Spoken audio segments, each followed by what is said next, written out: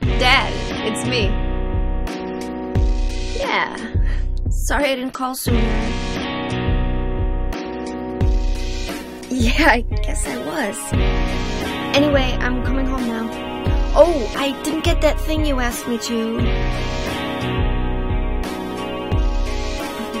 Okay. okay, I will. I love you too, Dad.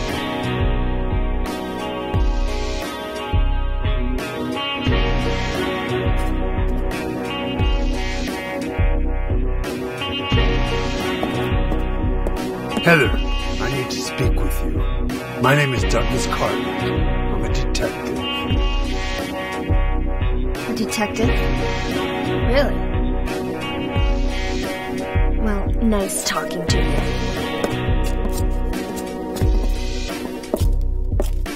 Hold on. There's someone that wants to meet you. Just let me have an hour. No, half an hour of your time.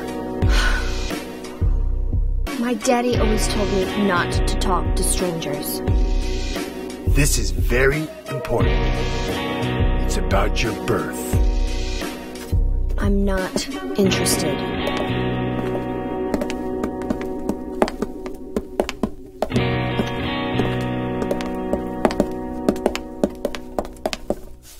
Are you still following me? Do I have to scream? Sorry. I'll wait here.